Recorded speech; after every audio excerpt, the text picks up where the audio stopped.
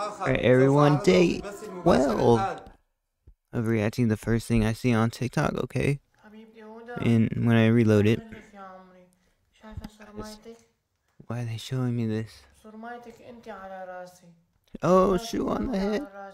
Shoot آه روحي انت بس ارجعي لي on the head. انا قبلان قبلان تجيبي لي شباب But عندي. why, man? بس Why- المهم No, you know, تجيبي one day we'll get the uh, automatic subtitle translator because I'm sure there's a bunch of content from other countries that we need to see.